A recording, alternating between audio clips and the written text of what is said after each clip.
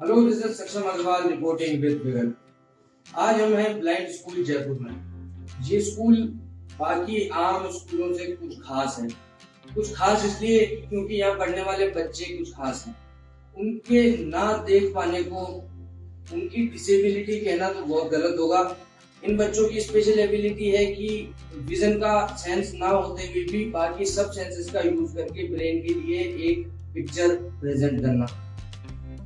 इन बच्चों की special ability है एक माइनर इनकन्वीनियंस की वजह से अपने आसपास की हर चीज़ को दोष देने की बजाय खुद पे काम करना और लगातार करना। इस स्कूल ने इस साल एट्थ टेंथ और ट्वेल्थ का हंड्रेड परसेंट रिज़ल्ट अचीव करा है, जिसमें से कुछ बच्चों ने बहुत ही अच्छा करा। यहाँ बच्चे कंप्यूटर सीखते हैं स्पोर्ट्स की शिक्षा लेते हैं म्यूज़िक सीखते हैं और भी बहुत कुछ।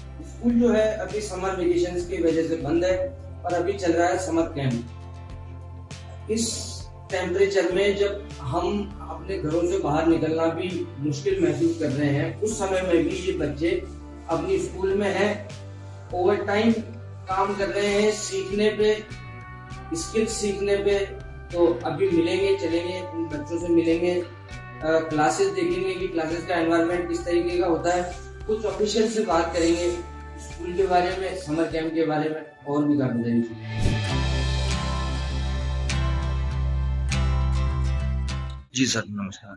सर आप सबसे पहले अपना और हम जिस जगह हैं उसका एक छोटा सा परिचय दे देंगे अपने हमारे व्यूअर्स के लिए।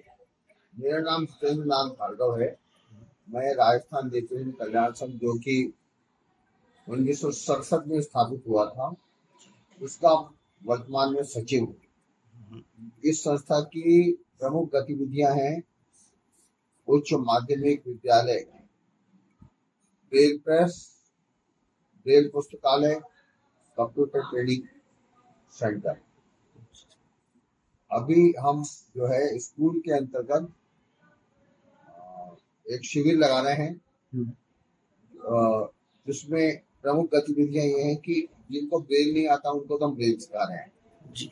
और पांचवी कक्षा पास जिन बच्चों ने कर लिया क्योंकि छठी कक्षा से अंग्रेज़ी में कॉन्टेक्शन और एब्रीवेशन होते हैं जी वो सिखा रहे हैं हम्म। इसके अतिरिक्त जो बच्चे हमारे स्कूल के कमज़ोर हैं उनकी कमजोरियाँ दूर कर रहे हैं क्योंकि कोर्स इतना ज़्यादा बड़ा होता है कि कक्षा में वो संभव नहीं होता हम्म। और जिन आ, कुछ छोटी कक्षाओं में बड़ी आयु के बच्चे हो गए हम्म।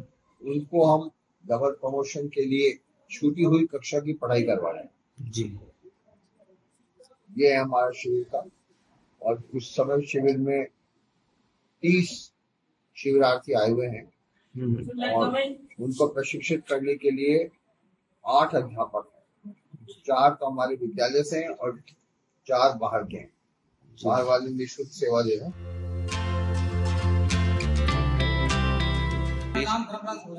और मैं अभी राजस्थान उच्च माध्यमिक विद्यालय प्रधान पर कार्यरत हूँ जी।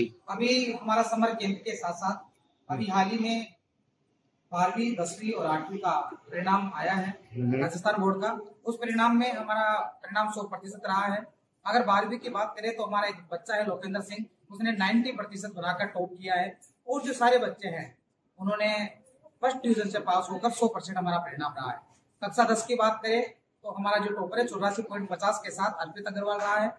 और दूसरा जो बच्चा है, उसके भी तिरासी पॉइंट पचास परसेंट बनी है। इस प्रकार सौ परसेंट रिज़ल्ट हमारा रहा है। इसी प्रकार कक्षा आठ का जो रिज़ल्ट है, वो भी सौ प्रतिशत रहा है। हमारी तीन बालिकाएँ हैं, जिनमें ए ग्रेड प्राप्त हुई है और दो बच्चे थे, उनको बी ग्रेड प्राप्त हुई है। इस प्रकार पूरा परिणाम, अगर बोर्ड कक्षाओं का परिणाम को देखा जाए तो सौ प्रतिशत परिणाम रहा है। वर्तमान समय में हमारे यहाँ पर सौ बच्चे अध्ययनरत है, प्रवेशिका से लेकर बारहवीं तक बारहवीं तक का ये स्कूल है। यहाँ पर हॉस्टल फैसिलिटी भी है। साथ में कुछ बच्चे, पच्चीस के लगभग बच्चे हमारे बाहर से भी आते हैं, जिनके घर वाले सुबह साढ़े नौ बजे छोड़ जाते हैं, साढ़े तीन बजे वापस ले जाते हैं। यहाँ पर सब कुछ निःशुल्क है, खाने पीने से लेकर रहना, सब कुछ निःशुल्क है। इस प्रकार ये विद्यालय लगातार प्रगति करता रहा, प्रगति कर रहा है और लगातार अभी हाल ही में ओपन स्कूल का जो परीक्षाएँ है, वो भी दर्ज होने वाली है और हमें आशा ही है, आशा ही, पूरा विश्वास है कि उनका परिणाम भी सौ प्रतिशत रहने वाला है। इस प्रकार लगातार इनकी हम तैयारी करवाते हैं, पूरा ट्रेनिंग दी जाती है, पूरा इनकी रेगुलर पढ़ाई होती है, वही एनसीआरटी की बुक्स होती है सेम जैसे स्कूल में हम देखते हैं, वैसी बुक्स इनकी होती है, उसी के तहत पूरे टीचर्स पूरी फैकल्टी इनको पढ़ाई करवाती है, पूरा कोर्स करवाती है समय समय पर टेस्ट लेती है समय समय पर इनका रिविजन करवाया जाता है, और इस प्रकार की अपनी परीक्षाएँ देकर ये बच्चे उत्तीर्ण होते हैं और अपने आगे के रास्ता तय करते हैं। धन्यवाद।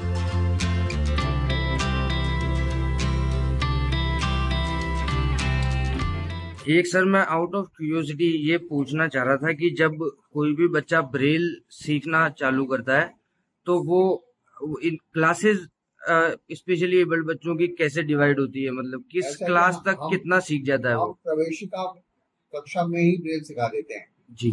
ताकि वो पहली कक्षा से पढ़ना लिखना सीख पढ़ना लिखना संभव हो जाए उसके लिए। प्रवेशिका में रखते हैं पहले बच्चे।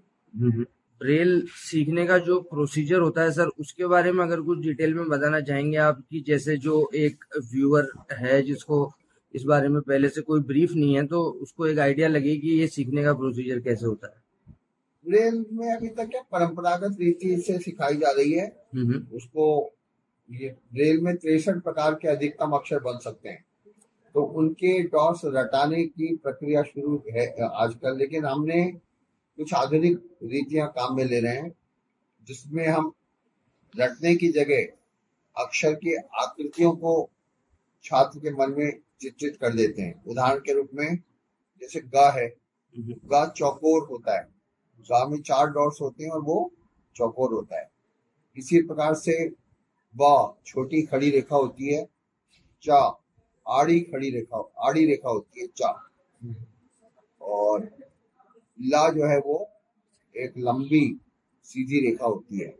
तो हम ये ये चाहते हैं कि आधुनिक तरीके से होए ताकि बच्चा अगर भूल भी जाए तो उसको वो भूलने की संभावना ही नहीं रहती। तो अगर रख लेते जब तक तो अच्छा फिर हमारे यहाँ एक ट्रेनर स्लेट आई हुई है। ट्रेनर स्लेट हिंदी और अंग्रेज़ी के अलग अलग है। उसमें पहले ब्रेल में अक्षर है उसके बाद वही अक्षर इंक प्रिंट में है।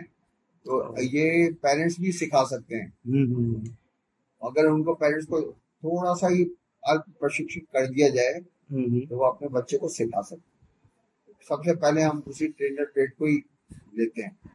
और इसके अलावा हमारे पास और भी कई साधन हैं जिन बच्चों को स्पर्श शक्ति थोड़ी सी कमज़ोर हो जाती है उनके लिए हमारे पास अलग प्रकार के उपकरण हैं। जी सर। आगे मैं ये जानना चाहूँगा सर हम लगातार एक इम्प्रूवमेंट की तरफ़ तो हैं लेकिन लिटरेसी रेट जो है स्पेशली एबल्ड बच्चों में वो कितनी और बढ़ने की ज़रूरत है या कितने और मार्जिनलाइज सेक्टर से जो बच्चे हैं उनको स्कूल तक पहुँचने की ज़रूरत है? इस सिनेरियो के बारे में कुछ बताएँ। अब भाई गाँव में तो बिल्कुल बहुत दिनों के बाद लाते हैं अनभिज्ञता है वो। वो बहुत ज़्यादा पब्लिसिटी की आवश्यकता है सरकारी स्तर पर और गैर सरकारी दोनों स्तरों पर। हम्म, हम्म। क्योंकि बहुत सारे अभिभावक इतने लेट आते हैं कि वो छोटी कक्षा में उनका एडजस्टमेंट भी बड़ा मुश्किल से होता है। उसके लिए हमने तरीका निकाला है। हम पांचवी पास करा के फिर ओपन स्कूलिंग कराते हैं ताकि बच्चे के जो साल खराब हो गए हों उनकी क्षतिपूर्ति हो जाती है। और अब इसके लिए तो यही है कि रेडियो में और टेलीविज़न में खूब विज्ञापन दिए जाए। हम्म। क्योंकि स्कूलों की तो कमी नहीं है। स्कूल तो ठीक ठाक हो गए इस राजस्थान के समय। पंद्रह विद्यालय हैं। हम्म। लेकिन हाँ लेकिन अब वो ब्लाइंडनेस की भी रेट बढ़ रही है। ब्लाइंडनेस अच्छा। के कारण भी अलग अलग हो रहे हैं। हम्म।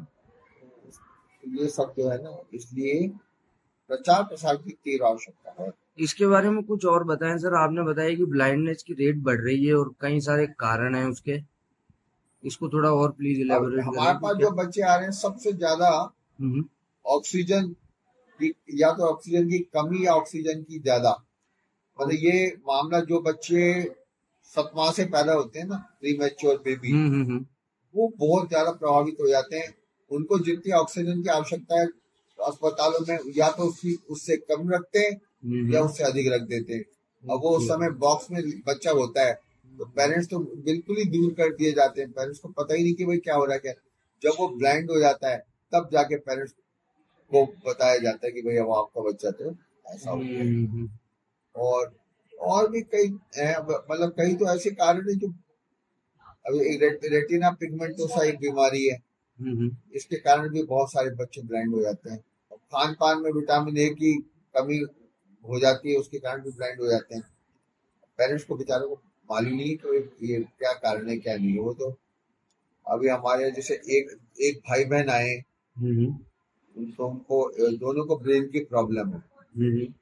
ब्रेन मतलब ब्रेन की प्रॉब्लम के कारण बड़ी उनकी नाजुक स्थिति है। लेकिन हमने भारी हम उनको मना नहीं कर सकते क्योंकि इतने उत्साह के साथ उसके माँ बाप आए थे। जी। क्योंकि मतलब हल्का सा भी हाथ अगर कोई लग जाए ना उसके फिर में तो उसकी स्थिति बड़ी दयनीय हो सकती है। लेकिन हमने सोच लिया कि सब बच्चों को हम बता के रखेंगे और सतर्कता बरतेंगे। ऐसे कई कैसे हैं। अब हमारे कई परिवार ऐसे हैं जिनमें एक से ज़्यादा ब्लाइंड बच्चे हैं। एक आखिरी सवाल सर, फिर खत्म करेंगे। स्पेशली एबल्ड बच्चे ब्लाइंड बच्चे जो खासकर की समाज के मार्जिनलाइज्ड सेक्टर से या इकोनॉमिकली बैकवर्ड सेक्शन से आते हैं, उनके लिए एजुकेशन कितना बड़ा टूल है और क्यों ज़्यादा ज़रूरी है? एजुकेशन तो उनके लिए बहुत बड़ा टूल है। एजुकेशन और साथ साथ मैं कहूँगा टेक्नोलॉजी हमारे जितने भी गाँव के और बिल्कुल ऐसे जो आप कह रहे हो हम्म, हम्म। हाशिए वाले क्षेत्र से बच्चे आए जब उन्होंने टेक्नोलॉजी सीख ली हम्म, तो वो इतने आत्मनिर्भर हर मामले में हो गए पढ़ने के मामले में भी मोबिलिटी के मामले में भी। बहुत मतलब इसका बहुत फ़र्क पड़ता है। अभी अभी आप अगर हॉस्टल वाले बच्चों से भी मिलो तो उनका चेहरा देखो प्रसन्नता का कितना अच्छा स्तर है। कोई भी कुछ दिनों के बाद कोई उदास नहीं रहता है। जी। सबके चेहरे खिले खिले रहते हैं जबकि जो बहुत ज़्यादा पैसे वाले हैं उनके चेहरे भी प्रसन्नता से खिले हुए नहीं रहते। जी। बहुत बहुत धन्यवाद सर ज्वाइन करने के लिए।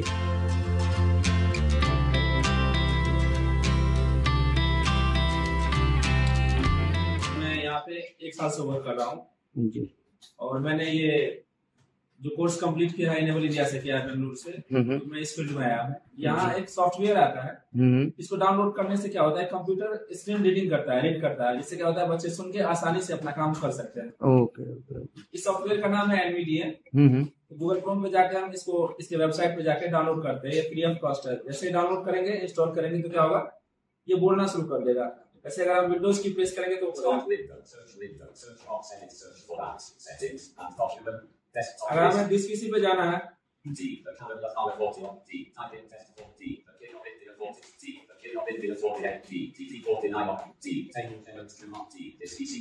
दिस पीसी जाता मैं तब तक टी की प्रेस किया जब तक ये दिस पीसी नहीं आया। दिस पीसी आया जैसे इंटर करेंगे दिस पीसी ओपन हो जाएगा। अगर हमें टाइटल चेक करना हो तो। इसका टाइटल मैंने चेक किया है इंसर्ट की दबा के की दबाया है तो वो टाइटल बता रहा है कि ये दिस पीसी है। ओके ठीक है? अब अगर हम एमएस वर्ड ओपन करना होता है प्रेस करें डब्ल्यू तो बोल रहा है डब्ल्यू जैसे डब्ल्यू को किए तो वर्ड बता दिया वर्ड हमारे फोकस है। जैसे इंटर करेंगे तो ओपन हो जाएगा। और इससे क्या होगा कि बच्चे ये आसानी से इसको वर्क करेंगे, जो भी लिखेंगे बोलेगा ये